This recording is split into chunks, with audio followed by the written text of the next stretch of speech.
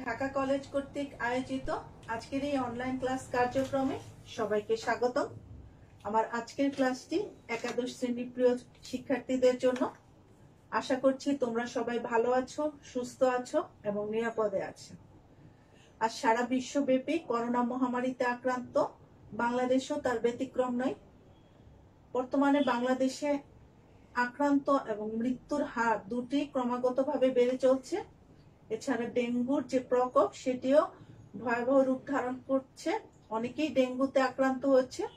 তাই এখন আমাদের অনেক বেশি সাবধানে থাকতে হবে এবং সেই সাথে আমাদের সবাইকে সচেতন হতে হবে।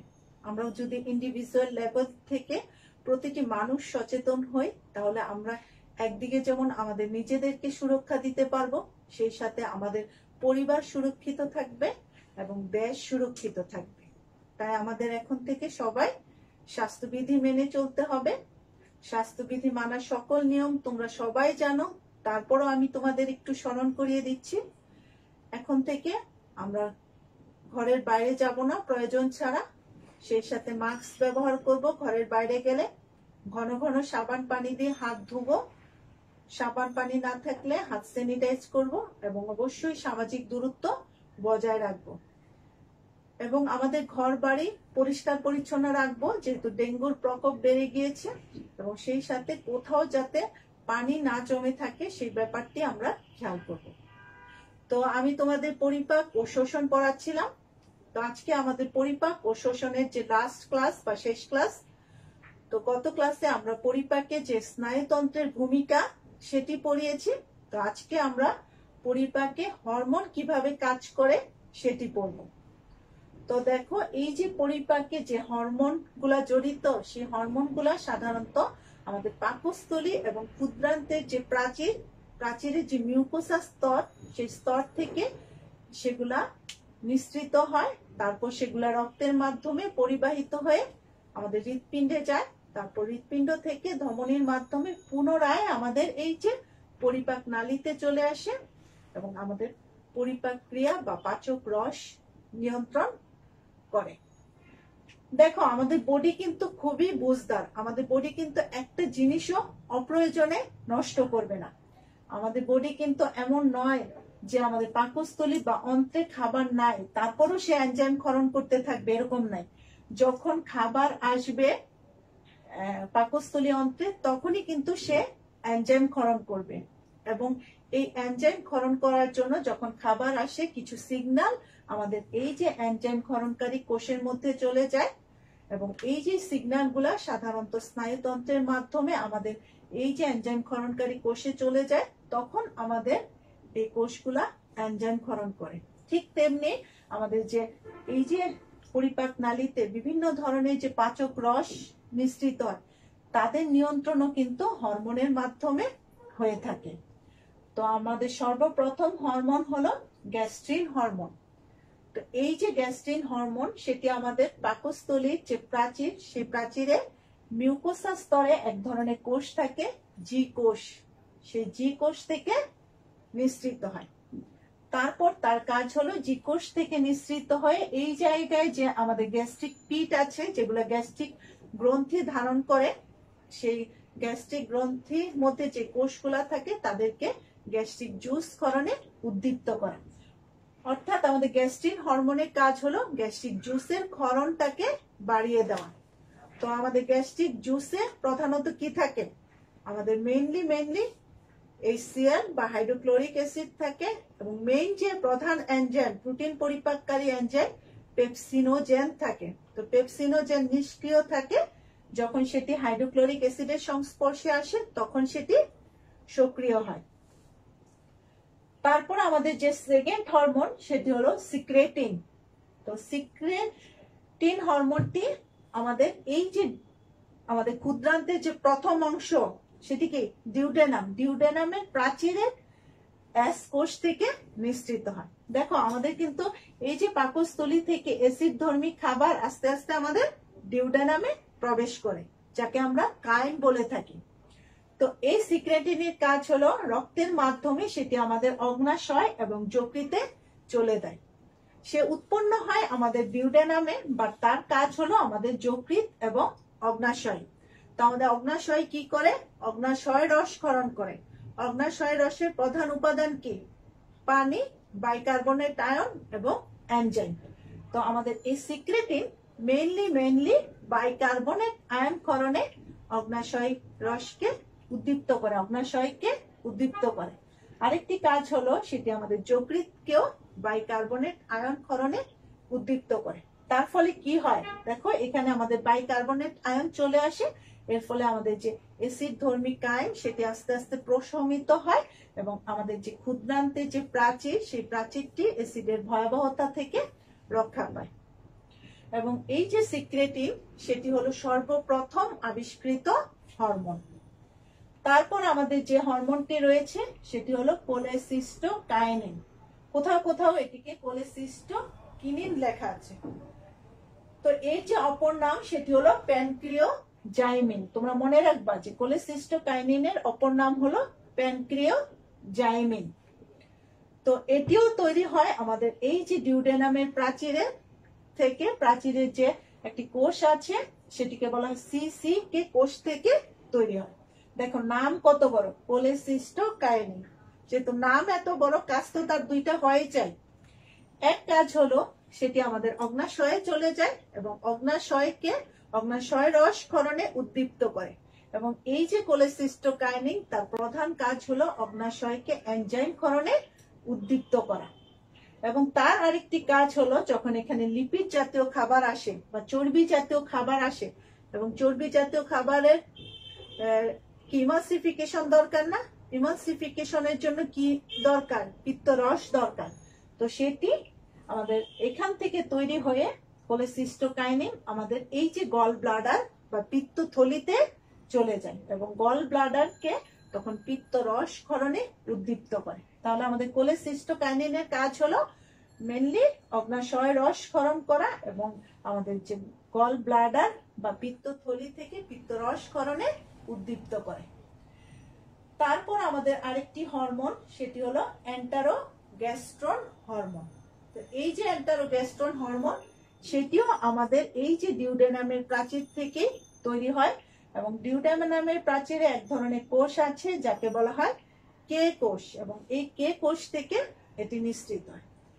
এটি ডিউডেনামের প্রাচীরে তৈরি হলেও এটি রক্তের মাধ্যমে আমাদের পাকস্থলিতে চলে যায়। এবং এর কাজ হলো আমাদের যে গ্যাস্ট্রিক জুসের ক্ষরণ কমিয়ে দেওয়া। দেখো, আমাদের গ্যাস্ট্রিনের কাজ ছিল গ্যাস্ট্রিক জুসের ক্ষরণ বাড়িয়ে দেয়া বাট আমাদের অ্যান্টারো গ্যাস্ট্রনের কাজ হলো গ্যাস্ট্রিক জুসের ক্ষরণ কমিয়ে দেওয়া। কারণ আমাদের খাবার তো আর এখানে নেই, খাবার কিন্তু আস্তে আস্তে এখানে চলে আসছে। এখন কিন্তু আমাদের এখানে গ্যাস্ট্রিক জুস থাকার দরকার নেই। তো তোমাদের অনেক সময় কোশ্চেন আসে যে আমাদের পরিপাক ক্রিয়ার সাথে রিলেটেড দুইটি হরমোনের নাম লিখো বা কাজ লিখো যাদের যে অ্যাকশন বিপরীতমুখী। তো দেখো গ্যাস্ট্রিন এবং অ্যান্টারো অ্যান্টারোগ্যাস্ট্রন তাদের দুইজনের কাজ কিন্তু বিপরীতমুখী। একটি কাজ হলো আমাদের গ্যাস্ট্রিক জুসের ক্ষরণ বাড়িয়ে দেওয়া এবং আরেকটি কাজ হলো আমাদের গ্যাস্ট্রিক জুসের ক্ষরণ কমিয়ে দেওয়া। ঠিক তেমনি কিন্তু আমাদের অগ্নাশয় রস থেকেও দুটি হরমোন নিঃসৃত সরি আমাদের অগ্নাশয় থেকে আইলেটস অফ ল্যাঙ্গারহ্যান্স থেকেও দুটি হরমোন নিঃসৃত হয়। তাদের কাজও কিন্তু বিপরীত বিপরীতমুখী। মনে আছে হরমোন দুটির নাম? ইনসুলিন এবং গ্লুকাগন।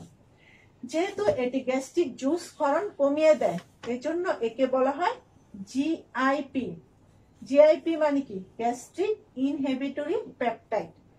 তো ইনহিবিট মানে কি? বাধা দেওয়া। তাহলে এটি হচ্ছে গ্যাস্ট্রিক জুসের ক্ষরণ বাধা দেয়। আর পেপটাইড মানে কি? প্রোটিন। অর্থাৎ হরমোন তো আমাদের প্রোটিন জাতীয় পদার্থ এর জন্য এর আরেক নাম হলো জিআইপি বা গ্যাস্ট্রিক ইনহেবিটরি পেপটাইড। মনে রাখবা। তারপর আমাদের আরেকটি হরমোন, পাঁচ নাম্বার যে হরমোন, সেটি হলো সোমাটোস্টেটিন। এবং এই যে হরমোন, সোমাটোস্টেটিন সেটি কিন্তু আমাদের এই যে অন্ত্রের, ক্ষুদ্রান্তের প্রাচীরের ডি কোষ থেকে নিঃসৃত হয়। এবং এর কাজও কিন্তু অনেকটা বিপরীত ধর্মী অর্থাৎ সে নেগেটিভই কাজ করে, এর মতো তার কাজ হলো আমাদের যে পাকস্থলীকে গ্যাস্ট্রিক জুস ক্ষরণে বাধা দেওয়া এবং অগ্নাশয়কে, অগ্নাশয় রস ক্ষরণে বাধা দেওয়া। তারপর আমাদের আরেকটি হরমোন আছে প্যানক্রিয়েটিক পলিপেপটাইড প্যানক্রিয়েটিক নাম শুনেই বুঝতে পারছ যে এটি আমাদের প্যানক্রিয়াস বা অগ্নাশয় থেকে নিঃসৃত হয় এবং এর কাজ হলো আমাদের অগ্নাশয় রসক্ষরণে বাধা দেওয়া।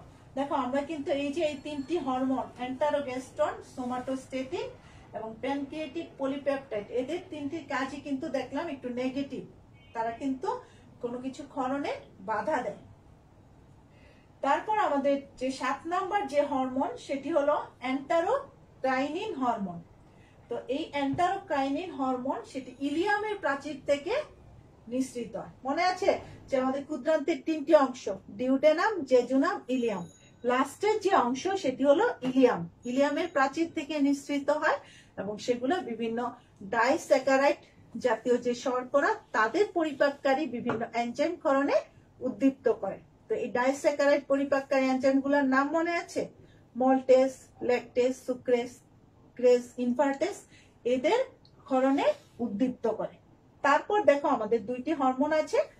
একটি হলো অ্যান্টারোকাইনিন, এটি ছিল অ্যান্টেরোক্রাইনিন আর এটি হলো অ্যান্টেরোকাইনিন। একটা হলো ক্রাইনিন, আর একটা হলো কাইনিন, আর একটি হলো ড্রিউ ক্রাইনিন দেখো আমাদের ক্ষুদ্রান্তের প্রাচীরে কিছু গ্রন্থি থাকে। মনে আছে গ্রন্থিগুলোর নাম?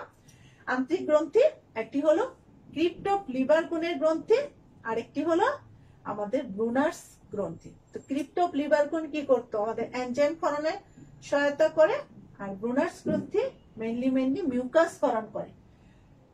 তো এই যে অ্যান্টেরোকাইনিন হরমোন সেটি আমাদের ডিউডানামের প্রাচীর থেকে নিঃসৃত হয় বা তার কাজ হলো আমাদের ক্রিপ্টপ লিভার কোণের গ্রন্থিকে উদ্দীপ্ত করা, যাতে সে এনজাইম ক্ষরণ করতে পারে।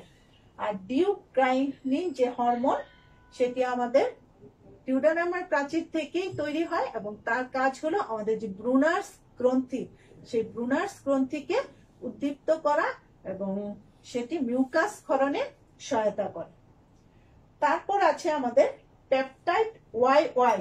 Peptide Y Y যে হরমোন, এটিও আমাদের অন্ত্রে যে প্রাচীর, সেই প্রাচীর থেকে নিঃসৃত হয়। এবং এই যে পেপটাইড ওয়াই ওয়াই এর কাজ হলো আমাদের যে ক্ষুদ্রান্তে যাতে খুব ধীর গতিতে খাবার আসতে পারে, সেটি নিশ্চিত করা। অর্থাৎ যখন পাকস্থলিতে থেকে খাবার আসবে, সেটি কিন্তু কিন্তু একবারে চলে আসবে না। যখন অল্প অল্প করে খাবার আসবে, তখন কিন্তু আমাদের ক্ষুদ্রান্ত খুব সুন্দর করে দক্ষতার সাথে কাজ করতে পারবে। সেটি নিশ্চিত করে এই প্যাপটাইড ওয়াই ওয়াই হরমোন।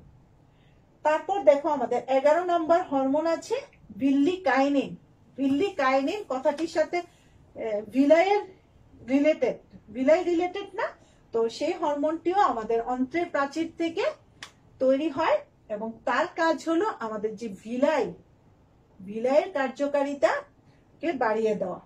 তারপর আমাদের লাস্ট যে হরমোন, সেটি হলো ভ্যাসো অ্যাক্টিভ ইন্টেস্টিনাল প্যাপটাইড তো এই হরমোনটিও আমাদের ক্ষুদ্রান্তের প্রাচীর থেকে তৈরি হয়।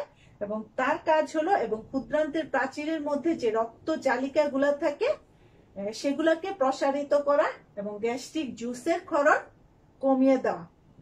তো এই হলো আমাদের যে বারোটি হরমোন। তো তোমরা সবগুলা হরমোনের নাম মনে রাখবা এবং দেখবা বেশিরভাগ হরমোনই আমাদের ক্ষুদ্রান্তের প্রাচীর থেকে নিঃসৃত হয়েছে। শুধুমাত্র যে গ্যাস্ট্রিক হরমোন সেটি আমাদের পাকস্থলীর প্রাচীর থেকে নিঃসৃত হয়েছে এবং তাদের যে অ্যাকশন লোকেশন তাদের কোথায় গিয়ে তারা কাজ করে, সেটিও একটু মনে রাখবা। তো এইভাবে তোমরা হরমোনগুলা শিখবা। বাট মাস্ট অবশ্যই তোমরা প্রথম চারটি হরমোন তোমাদের অবশ্যই শিখতে হবে। আমরা এই অধ্যায়ে যে শেষ টপিক অবিসিটি বা স্থূলতা নিয়ে পড়ব। তো যেহেতু খাওয়া দাওয়ার সাথে আমাদের মোটা হওয়া সম্পর্কিত, সেজন্য এই অধ্যায়ে আমাদের একটি টপিক দেওয়া আছে, সেটি হলো অবিসিটি বা স্থূলতা। তো স্থূলতা হলো আমাদের যদি স্বাভাবিকের চেয়ে আমাদের ওজন যদি অতিরিক্ত বেড়ে যায় এবং সেটি আমাদের স্বাস্থ্যগত সমস্যা তৈরি করে, সেটিকে আমরা অবিসিটি বা স্থূলতা বলব। তো স্থূলতার সংজ্ঞায় আমরা বলতে পারি, যদি আমাদের যে দেহে যে আদর্শ ওজন, তার চেয়ে যদি আমাদের দেহে বিশ পার্সেন্ট বা তার চেয়ে অধিক মেদ আমাদের দেহে জমা হয়, তাহলে সেটিকে আমরা স্থূলতা বা অবিসিটি বলে থাকি। এবং এই যে স্থূলতা নির্ধারণের জন্য একটি স্কেল বা ইন্ডিকেটর বা একটি নির্দেশক রয়েছে, যাকে বলা হয় বিএমআই বিএমআই মানে হলো body mass index body mass index তো বডি মাস ইন্ডেক্স সাধারণত দেহের ওজনকে, কোনো ব্যক্তির যে দেহের ওজন, সেটি তার উচ্চতার যে বর্গ, সেই বর্গ দিয়ে ভাগ করলে আমরা সেই বিএমআই পাবো। তো দেহের ওজনকে সাধারণত এখানে কিলোগ্রাম বা কেজি দিয়ে প্রকাশ করা হয়। আর ব্যক্তির উচ্চতা মিটার স্কোয়ারে, যেহেতু সেটি উচ্চতার বর্গ দিয়ে ভাগ করব, সেজন্য সেটিকে মিটার স্কোয়ার বলা হয়। অর্থাৎ আমাদের বিএমআই এর যদি আমরা ইউনিট বলি, সেটি হলো কিলোগ্রাম পার মিটার স্কোয়ার। ধরো আমরা যে কোনো ব্যক্তির বিএমআই নির্ণয় করতে পারি। ধরো কোনো ব্যক্তি যদি উচ্চতার সাথে অবশ্যই তার ওজন সম্পর্কিত হতে হবে। কোনো ব্যক্তি যদি ধরো খাটো হয় চার ফিট হয় এবং তার উচ্চতা যদি হচ্ছে সত্তর কেজি হয়, তাহলে কিন্তু সে অনেক বেশি স্থূল। বাট কোনো ব্যক্তির উচ্চতা যদি ছয় ফিট হয় এবং তার ওজন যদি সত্তর কেজি হয়, সে কিন্তু হচ্ছে আমরা তাকে স্থূল বলতে পারি না বা মোটা বলতে পারি না। তো ধরো কোনো ব্যক্তির যে ওজন সেটি যদি ষাট কেজি হয় এবং তার উচ্চতা যদি ওয়ান পয়েন্ট ফাইভ মিটার হয় সেটিকে যদি আমরা ক্যালকুলেশন করে বের করি, তাহলে তার যে বিএমআই সেটি হলো twenty six point six six হবে। তো তোমরা এখন মনে করতে পারো যে টোয়েন্টি সিক্স পয়েন্ট কি আসলে সেটা আমাদের জন্য কি হবে? তো সেইটি নির্ধারণের জন্য হচ্ছে আমাদের ওয়ার্ল্ড হেলথ অর্গানাইজেশন বা হু যেটি বিশ্ব স্বাস্থ্য সংস্থা, একটি স্কেল নির্ধারণ করে দিয়েছে, যার মাধ্যমে আমরা এই বিএমআই দেখে আমরা কি ধরনের স্থূল বা আমাদের দেহের ওজন কতটুক, সেটি আমরা সহজেই নির্ধারণ করতে পারি। তো তোমরা মনে করতে পারো যে আমাদের তো ওজন সেটি আমরা কিলোগ্রাম বা কেজিতে প্রকাশ করি, সেটি ঠিক আছে বাট আমরা কিন্তু আমাদের উচ্চতা কখনো মিটারে খুবই কম মাপি, আমরা উচ্চতার ক্ষেত্রে সাধারণ, সাধারণত কি বলি, ফিটে হিসাব করি। ধরো তোমার যদি উচ্চতা হয়, যদি হয় ওয়ান পয়েন্ট তোমার উচ্চতা হলো পাঁচ ফিট দশ ইঞ্চি তো সেই ক্ষেত্রে তুমি কি করবে? কীভাবে একে মিটারে কনভার্ট করবে? তো পাঁচ ফিট দশ ইঞ্চিকে তুমি প্রথমে ইঞ্চিতে কনভার্ট করে নিবে। তা পাঁচ বারো ষাট আর দশ হচ্ছে তোমার সত্তর ইঞ্চি।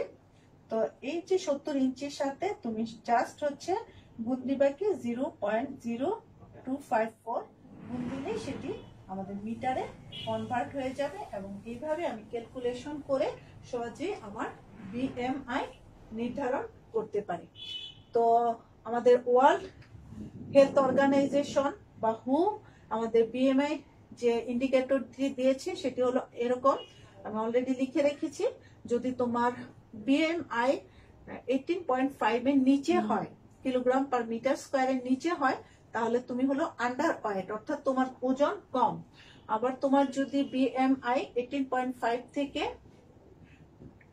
twenty four point nine nine হয়, তাহলে তোমার যে ওয়েট সেটি নর্মাল ওয়েট। অর্থাৎ আমরা এই যে এইটিন পয়েন্ট ফাইভ থেকে twenty four point nine nine পর্যন্ত সেটিকে আমরা নর্মাল বিএমআই ধরে নিব। অর্থাৎ আমাদের বিএমআই যদি এত থাকে, তাহলে আমাদের সেটি ওজন আমাদের ঠিক আছে, অর্থাৎ আমরা স্থূল নেই। কিন্তু আমাদের বিএমআই যখন পঁচিশ থেকে টোয়েন্টি নাইন উনত্রিশ দশমিক নয় নয় হয়ে যায়, তাহলে আমরা ওভার ওয়েট আমাদের ওয়েট বেশি বাট আমরা স্থূল নয়। আমরা কিন্তু অবিসিটিতে এখনও পৌঁছাইনি। আমরা যদি নিজেদেরকে একটু কন্ট্রোল করি, সেই ক্ষেত্রে আমরা কিন্তু অতি সহজেই আমরা আমাদের নর্মাল ওয়েটে পৌঁছে যাব। আবার দেখো, আমাদের যদি বিএমআই তিরিশ থেকে চৌত্রিশ দশমিক নয় নয় হয়, তাহলে আমরা ক্লাস ওয়ান ওবিসিটি অর্থাৎ প্রথম শ্রেণির যে স্থূলতা, সেটিতে থাকব। আর আমাদের বিএমআই যদি পঁয়ত্রিশ থেকে thirty nine point nine nine হয়ে থাকে, তাহলে আমরা ক্লাস টু ওবিসিটি বা দ্বিতীয় শ্রেণির স্থূলতায় থাকব। আর আমাদের বিএমআই যদি চল্লিশ কেজি পার মিটার স্কোয়ারের সমান হয় বা তার বেশি হয়, তাহলে আমরা হব ক্লাস থ্রি ওবিসিটি তো এই ক্ষেত্রে আমরা ওবিসিটি বা স্থূল বলব, এবং এর চেয়ে বেশি হলে সেটিকে আসলে মরবিট স্থূলতা বলা হয়, যেটি আসলে খুবই মারাত্মক। তো এই স্থূলতা কারণে আসলে আমাদের বিভিন্ন ধরনের যে শারীরিক সমস্যা সৃষ্টি হয়, তো আমাদের অবশ্যই যে স্থূলতার যে কারণ, সেই কারণগুলা জানতে হবে। তো প্রথম কারণ যেহেতু স্থূলতার সাথে আমাদের খাওয়া দাওয়া রিলেটেড তাহলে খাদ্য অভ্যাসটাও একটি প্রধান কারণ। তো খাদ্য অভ্যাসের মধ্যে তোমরা যদি চর্বিযুক্ত বেশি খাবার খাও, চিনিযুক্ত খাবার খাই, অতিরিক্ত খাবার আমরা গ্রহণ করি, প্রয়োজনের অতিরিক্ত, সেক্ষেত্রে আমরা অনেক বেশি মোটা হওয়ার চান্স আছে। তো আজকালকার বাচ্চারা দেখা গেছে, বিশেষ করে ফাস্ট ফুড জাতীয় খাবার, সে খাবারগুলো পিৎজা বার্গার খায় এবং এতে আসলে লবণ এক্সট্রা চিনি এবং পিৎজার বেটি বেশি থাকে, তার কারণে আসলে আমরা অনেক বেশি স্থূল হয়ে যাই। এছাড়া বিভিন্ন ধরনের চিনি জাতীয় খাদ্যদ্রব্য ডেজার্ট ইত্যাদি বা আমরা যদি কোক জাতীয় বা বিভিন্ন সফট ড্রিঙ্কস পান করি, সেক্ষেত্রেও স্থূল হওয়ার সম্ভাবনা আছে। তো এক তো গেল আমাদের খাদ্য অভ্যাস, আবার আমাদের লাইফস্টাইল সেটিও কিন্তু স্থূলতার একটি প্রধান কারণ। আমরা যদি আরামায়েশি জীবনযাপন করি, শুয়ে বসে থাকি তারপর আমরা এক্সারসাইজ না করি, বা আমাদের যে কর্মক্ষেত্রটা এরকম হয় যে আমরা বসে বসে কাজ করা, সেক্ষেত্রেও কিন্তু আমাদের স্থূলতা দেখা দিতে পারে। তারপর স্থূলতার আরেকটি কারণ হলো জিনগত। দেখবা যে যাদের বাবা মা মোটা, তাদের কিন্তু সন্তানরা অধিকাংশ ক্ষেত্রেই মোটা হয়। অর্থাৎ জিন এখানকে একটি বিরাট ভূমিকা কারণ, পালন করছে। তো এইটটি পার্সেন্ট ক্ষেত্রেই দেখবা যে মোটা বাবা মায়ের সন্তানরা আসলে একটু মোটাই হয়ে থাকে।